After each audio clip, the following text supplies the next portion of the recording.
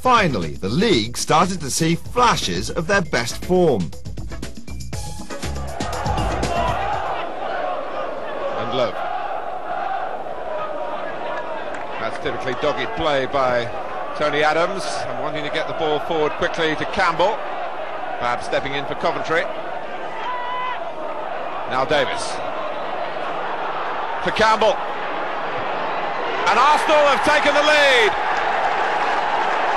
Davis with that deftness from midfield in his passing that perhaps Arsenal have been missing in his absence. And Babb just couldn't get close enough to stop Campbell shooting and scoring. Well, Arsenal coming here to get back to Premier League action. And perhaps you could forgive them if their minds elsewhere on the continuing runs in both cups. But they're looking like a side really meaning business. Atherton, what's Ogrizovic doing? And Arsenal have been presented with another one. Ian Wright. Chaotic defending by Coventry.